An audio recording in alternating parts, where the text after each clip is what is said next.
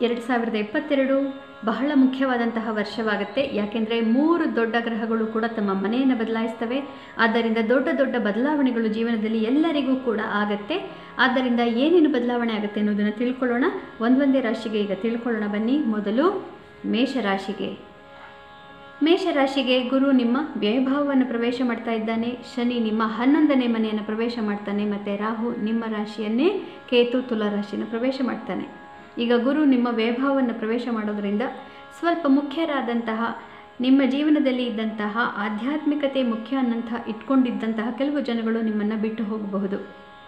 ಮತ್ತು ಕೆಲವರು ಮಿತ್ರರು ನಿಮ್ಮಿಂದ ಸ್ವಲ್ಪ ತಾತ್ಕಾಲಿಕವಾಗಿ ದೂರವಾಗಿ ಆಗಬೇಕಾಗಿ ಬರಬಹುದು. ಇದೆಲ್ಲ ತಾತ್ಕಾಲಿಕ ಅನ್ನೋದನ್ನು ನಾವು ನೋಡ್ಕೊಳ್ಳೋಣ. ಮತ್ತು ಇನ್ನೇನು ಅಂತಂದರೆ ಎರಡು, ಹನ್ನೆರಡು ವರ್ಷದಲ್ಲಿ ಒಮ್ಮೆ ಗುರು ಈ ಮನೆಗೆ ಬರೋದ್ರಿಂದ. ಇದು ಹನ್ನೆರಡನೇ ಮನೆ ಅಂದರೆ ವ್ಯಭಾವ ಅಂತಂದರೆ ಅದು ಆಧ್ಯಾತ್ಮಿಕತೆಯ ಬಗ್ಗೆ ಕೂಡ ತೋರಿಸುತ್ತೆ. ಆದ್ದರಿಂದ ಹನ್ನೆರಡು ವರ್ಷದಲ್ಲಿ ಕಾಣದಷ್ಟು ಆಧ್ಯಾತ್ಮಿಕತೆಯನ್ನು ನೀವು ಈಗ ಕಾಣ್ತೀರಾ? ಮನಸ್ಸಿಗೆ ನಿಮಗೆ ಈ ಆಧ್ಯಾತ್ಮಿಕತೆಯ ಬಗ್ಗೆ ಬಹಳ ಬಹಳ ಆಕರ್ಷಿತವಾಗಿ ನೀವು ಬರೀ ಅದನ್ನೇ ಮಾಡ್ತಾ ಇರ್ತೀರ?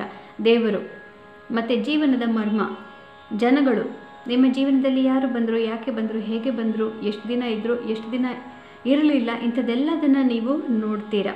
ಆದ್ದರಿಂದ ಇದರಿಂದ ನಿಮಗೆ ನಿಮ್ಮ ಜೀವನದ ಒಳನೋಟ ಅದು ಮುಖ್ಯವಾಗುತ್ತೆ. ಒಳಗೊಳ್, ಒಳಗೇನೆ ನೀವು ನಿಮ್ಮ ಬಗ್ಗೆನೇ ಸ್ವಲ್ಪ ಅವಲೋಕನ ಮಾಡಿಕೊಂಡು ಕೊರಗೋ ರೀತಿಯಲ್ಲಿ ಆಗಬಹುದು.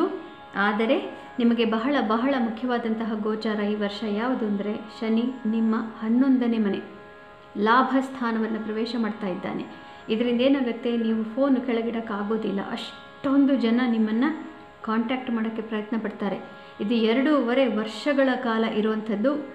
ಇಪ್ಪತ್ತೆಂಟು ವರ್ಷದಲ್ಲಿ ಒಮ್ಮೆ ಬರುವಂತಹ ಬಹಳ ಲಾಭದಾಯಕವಾದಂಥ, ಭಾಗ್ಯವಾದಂತಹ ಒಂದು ಗೋಚಾರ ಇದು. ಆದ್ದರಿಂದ ಈಗ ಯಾರ್ಯಾರು ಫ್ರೀಲಾನ್ಸಿಂಗ್ ಮಾಡ್ತಿದ್ದೀರಿ? ಬಿಸ್ನೆಸ್ಸನ್ನು ಮಾಡಲಿಕ್ಕೆ ಹೊರಟಿದ್ದೀರಿ? ನಿಮಗೆಲ್ಲರಿಗೂ ಆಂಟ್ರಪ್ರನ್ಯೂರ್ಸ್ ಯಾರ್ಯಾರಿದ್ದೀರಿ?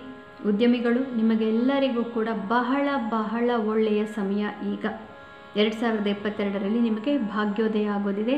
ಇಪ್ಪತ್ತೆಂಟು ವರ್ಷದಲ್ಲಿ ಕಾಣದಷ್ಟು ಲಾಭ ಮತ್ತು ಭಾಗ್ಯವನ್ನು ನೀವು ಕಾಣ್ತೀರಿ ಗುಂಪುಗಳು ಮುಖ್ಯ ಆಗುತ್ತೆ. ಯಾರೇ ಬಂದರೂ ಮಾತಾಡಿಸಿ ಫೋನ್ ನಂಬರ್ ಇಟ್ಕೊಳ್ಳಿ. ಯಾರು ಯಾವ ಕ್ಷಣದಲ್ಲಿ ನಿಮಗೆ ಸಹಾಯ ಮಾಡ್ತಾರೆ ಅಂತ ಹೇಳೋಕ್ಕಾಗಲ್ಲ. ಯಾರಿಂದ ದುಡ್ಡು ಬರುತ್ತೆ ಅಂತ ಹೇಳಲಿಕ್ಕಾಗೋದಿಲ್ಲ. ಯಾಕೆಂದರೆ ಶನಿಯ ಈ ಗೋಚಾರ ಮುಗಿದ ಮೇಲೆ ಸಾಡೆ ಸತ್ ಪ್ರಾರಂಭವಾಗುತ್ತೆ. ಆದ್ದರಿಂದ ಈ ಎರಡೂವರೆ ವರ್ಷಗಳು ಶನಿಯ ಅನುಗ್ರಹ ಅಂತ ಹೇಳಿಕೊಂಡು ಎಲ್ಲದನ್ನು ನೀವು ಪಡೆದು ಅದನ್ನು ಇಟ್ಕೋಬೇಕು. ದುಡ್ಡನ್ನು ಸೇವ್ ಮಾಡಿಕೊಳ್ಳೇಬೇಕಾಗತ್ತೆ. ಈಗ ಯಾಕೆಂದರೆ ಮುಂದಿನ ಐದು ವರ್ಷ ಕಷ್ಟವಾಗೋದಿದೆ ಎರಡು ಸಾವಿರದ ಇಪ್ಪತ್ತ ಐದರಿಂದ ಮತ್ತು ರಾಹು ನಿಮ್ಮ ವ್ಯಭಾವವನ್ನು ಬಿಟ್ಟು ನಿಮ್ಮ ರಾಶಿಯನ್ನು ಪ್ರವೇಶ ಮಾಡ್ತಾ ಇದ್ದಾನೆ. ಇದರಿಂದ ನಿಮ್ಮಲ್ಲಿ ಸ್ವಲ್ಪ ಮುಖ್ಯವಾದಂತಹ ಬದಲಾವಣೆಗಳು ಆಗುತ್ತೆ. ಏನು ಅಂತಂದರೆ ಬೇರೆ ಜನಗಳು ನಿಮ್ಮನ್ನು ನೋಡೋ ರೀತಿಯನ್ನು ಬದಲಾಯಿಸ್ತಾರೆ. ಯಾಕೆಂದರೆ ನೀವು ನಿಮ್ಮನ್ನೇ ಬದಲಾಯಿಸ್ಕೊಳ್ತೀರಿ. ಹಿಂದೆ ಜೀವನದಲ್ಲಿ ನಾನು ಇಂತಹ ದೊಡ್ಡ ದೊಡ್ಡ ಕೆಲಸಗಳನ್ನು ನಾನು ಮಾಡೋಕ್ಕೆ ನನಗೆ ಶಕ್ತಿನೇ ಇಲ್ಲ, ಧೈರ್ಯ ಇಲ್ಲ ಅಂತ ನೀವು ಅಂದ್ಕೊಂಡಂತಹ ದೊಡ್ಡ ದೊಡ್ಡ ಕೆಲಸಗಳನ್ನು ಈಗ ಮಾಡಿಬಿಡ್ತೀರಿ. ರಾಹು ಏನು ಮಾಡ್ತಾನೆ ಇರೋದನ್ನೆಲ್ಲದನ್ನು ಹತ್ತು ಪಟ್ಟು, ನೂರು ಪಟ್ಟು ದೊಡ್ಡದಾಗಿ ಮಾಡೋ ರೀತಿಯಲ್ಲಿ ಪ್ರಚೋದನೆ ಮಾಡ್ತಾನೆ. ಹೀಗಾಗಿ ನಿಮ್ಮನ್ನು ನೀವೇ ಅನೇಕ ರೀತಿಯಲ್ಲಿ ಬದಲಾಯಿಸ್ಕೊಳ್ತೀರಾ. ಆರೋಗ್ಯದ ಕಡೆ ಗಮನ ಇರಲಿ, ಆದರೆ ರಾಹು ಹನ್ನೆರಡರಲ್ಲಿ ಇದ್ದಾಗ ಆರೋಗ್ಯ ಇನ್ನೂ ಸ್ವಲ್ಪ ಬಹಳ ಕೆಟ್ಟಿತ್ತು. ಆದರೆ ಆರೋಗ್ಯದಲ್ಲಿ ಈಗ ಸುಧಾರಣೆ ಬರುತ್ತೆ.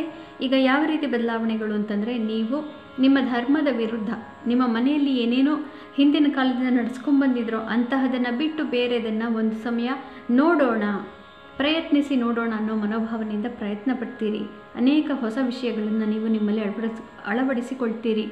ಈಗ ಮಕ್ಕಳಾಗಿದ್ದರೆ ಕಾಲೇಜ್ಗೆ ಹೋಗೋ ಮಕ್ಕಳು ಹುಡುಗರು ಎಲ್ಲ ಆದರೆ ಕಿವಿಗೆ ಓಲೆ ಹಾಕ್ಕೊಳ್ಳೋದು ಟ್ಯಾಟು ಹಾಕ್ಕೊಳ್ಳೋದು ಆಮೇಲೆ ಈ ಹರಿದೋಗಿರುವಂತಹ ಜೀನ್ಸ್ ಎಲ್ಲ ಹೊಸ ಹೊಸ ಫ್ಯಾಷನ್ ಬರುತ್ತಲ್ಲ, ಆ ಥರದನ್ನೆಲ್ಲ ಹಾಕ್ಕೊಳ್ಳೋದು ಹೆಣ್ಣುಮಕ್ಕಳು ತಮ್ಮ ಅತಿ ಬ್ಯೂಟಿ ಬಗ್ಗೆ, ಅತಿ ಹೆಚ್ಚಿನ ಒಂದು ಒತ್ತು ಕೊಡೋದು, ಕೂದಲನ್ನು ಸಣ್ಣದಾಗಿ ಕಟ್ಟು ಮಾಡ್ಕೊಳ್ಳೋದು, ವಿಪರೀತ ಮಾಡರ್ನ್ ಆಗೋದು, ಈ ರೀತಿಯೆಲ್ಲ ಬದಲಾವಣೆಗಳು, ಇದೇ ರೀತಿ ಬದಲಾವಣೆಗಳು ದೊಡ್ಡವರಲ್ಲೂ ಆಗ್ತವೆ. ಅವರ ಅವರ ವಯಸ್ಸಿಗೆ ಪ್ರಕಾರ, ಅವರ ಬುದ್ಧಿಮತ್ತೆಗೆ ಪ್ರಕಾರವಾಗಿ ತಮ್ಮ ತಮ್ಮಲ್ಲಿ ಬದಲಾವಣೆಗಳನ್ನ ಮಾಡಿಕೊಂಡು ಮಾಡ್ರನ್ ಆಗಬೇಕು ವೆಸ್ಟರ್ನ್ ಆಗಬೇಕಂತ ಬದಲಾಯಿಸ್ಕೊಳ್ತಾರೆ. ಯೋಚನೆ ಮಾಡೋ ರೀತಿ, ಜೀವನದ ಶೈಲಿ ಮತ್ತು ನೋಡುವ, ಅವರು ಕಾಣುವಂತಹ ರೀತಿ ಎಲ್ಲದನ್ನು ಬದಲಾಯಿಸಿಕೊಳ್ಳಬಹುದು. ಆದ್ದರಿಂದ ಶನಿ ನಿಮ್ಮ ಏಕಾದಶ ಭಾವದಲ್ಲಿ ಇರೋದರಿಂದ ಕೆಟ್ಟದ್ದು ಯಾವುದೂ ಆಗೋದಿಲ್ಲ. ಆದರೆ ಅನೇಕ ಬದಲಾವಣೆಗಳು ಖಂಡಿತವಾಗಲೂ ನಿಮಗೆ ಕಾಡ್ತಾ ಇದೆ. ಈ ಎರಡು ಸಾವಿರದ ಇಪ್ಪತ್ತೆರಡು ವರ್ಷ ನಿಮಗೆ ಭಾಗ್ಯೋದಯವಾಗುತ್ತೆ ಶನಿಯಿಂದ. ಆದ್ದರಿಂದ ಇದು ಬಹಳ ಬಹಳ ಒಳ್ಳೆಯ ವರ್ಷ. ದಯವಿಟ್ಟು ನಿಮ್ಮ ಆಧ್ಯಾತ್ಮಿಕತೆಯನ್ನು ಖಂಡಿತ ಕಾಪಾಡಿಕೊಳ್ಳಿ.